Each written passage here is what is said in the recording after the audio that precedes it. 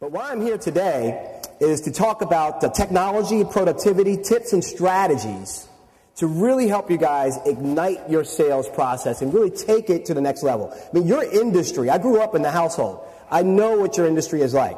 I've visited several people preparing for this presentation to make sure that the things that I've uh, thought about in mind uh, would be applicable and would relate to your everyday needs.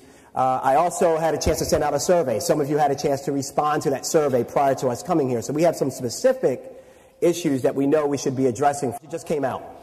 It's called the Pulse Pen by LiveScribe. What this pen does is it comes with its own notebooks. Uh, it has a daily journal, some things that look a little bit more professional than like a college ruled notebook here. But what it does is it allows me to write notes and capture audio and link my notes and the audio together at the same time. So it's like a TiVo for my notes.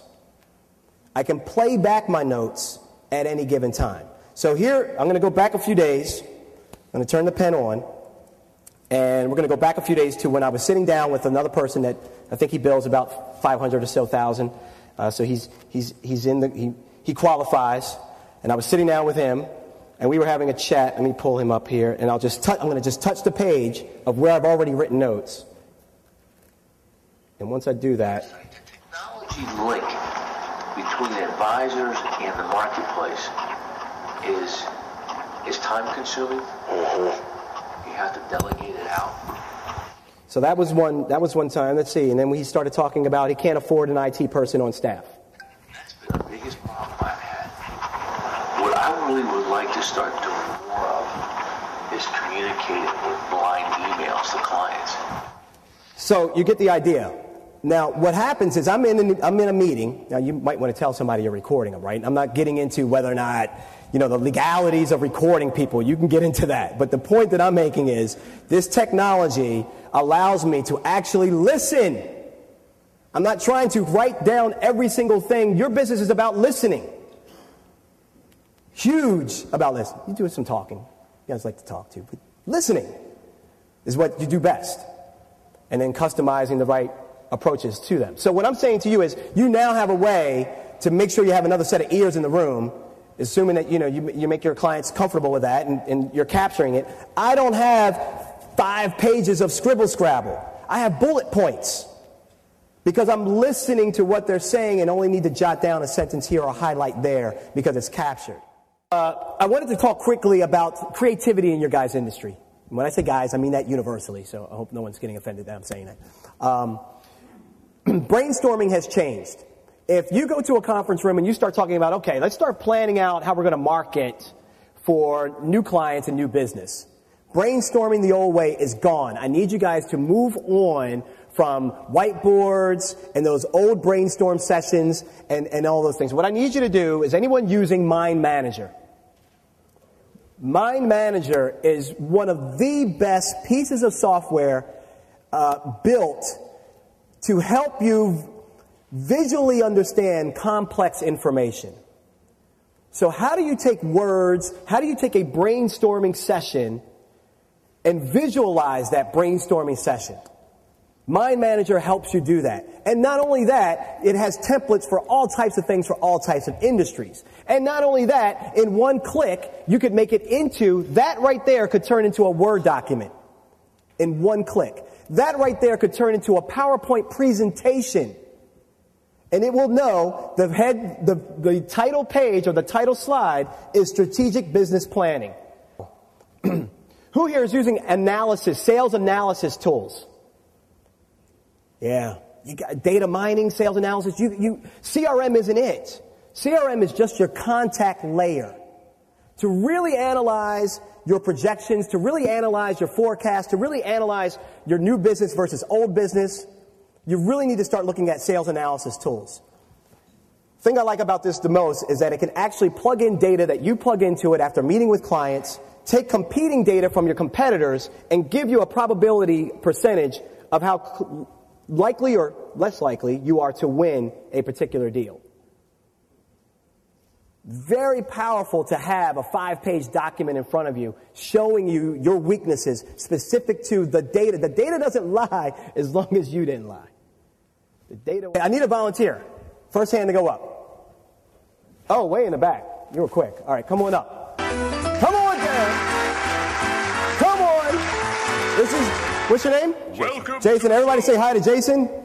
Who wants to Jason, say hi to everybody. About you, the smart, good-looking one? Okay, all right. So we have Jason. Jason, we're going to put you on the leaderboard here. Jason's going in. Okay, let's play. Thousand This points. cue's for you. What is Mind Manager?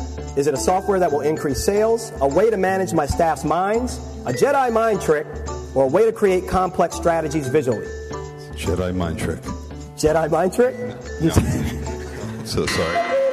Oh, you take it. You, you have 15 D. seconds. That would be D. Drawing a blank or just napping? Thank you so much, Mary. All right, we're going to give you one more shot at this. Okay. And give him one more shot. You're, you're, you're under a thousand now. I'm good. Let's dive This is dive the last into one. round two. Last round. Time to show what you know. One email productivity tip. Send an email to all your email to the recycle bin. Answer every single email as it comes in. Create your own email lottery system or use descriptive subject lines. That would be D, Mario. D. All right, he got it right. Give Jason a round of applause. He got one out of two. And for that, for that, you're going to go home with his very own jawbone. I'm going to give you your own jawbone. Stunning performance. All right? Enjoy that, okay? My pleasure. All right? Hope you had fun with that. Thanks again, Jason. Another round of applause to Jason. Good sport, man. Good sport. Appreciate that. Thanks for playing along. We're going to go through a few things. We're going to talk about uh, how tech mobility, if, if content is king, and I come from the content industry, and you guys serve content to your, to your uh, customers every day, and you have to translate that content every day. Uh, if content is king, then tech mobility, being able to be wireless and use technology, is definitely, absolutely, hands down, queen. Hands down.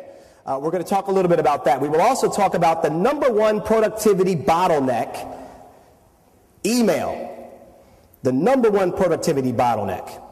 Uh, we'll discuss five top, what I call sales 2.0. I'm sure other people are probably using that term, but us techies, we always love to throw things in an acronym and make it feel like we came up with it first. Uh, so, five sales tools, tech sales tools that I think you absolutely need to have. And then how to use the web to outsource everything from uh, business processes to uh, uh, mundane tasks like personal errands. We're going to talk about that in the websites you can use. And then how to flip the web upside down to make the web work for you in a better way. And then lastly, we'll take a little look ahead and we'll take a fast forward glance at some of the trends and some of the technologies that are on the horizon that you should be aware of. So the first thing I want you all to do is trash your cell phones. Absolutely throw your cell phones away. If they look like this, I'm so sorry. I, I'm sorry if I offend anybody. I know I looked around the room earlier. Some of you were making calls, you were checking voicemails, and some of you had phones just like this. I'm not trying to bash you. Don't take this the wrong way. I'm trying to help you. These phones can't help you. Little itty bitty flip phones like that and like this, they, they can't help you. You may as well be carrying one of these. You guys remember these, right? You all probably had some of these back in the day. The old Motorola flip phone, like the very first flip phone. You may as well have this because all you're really doing with those phones are making phone calls.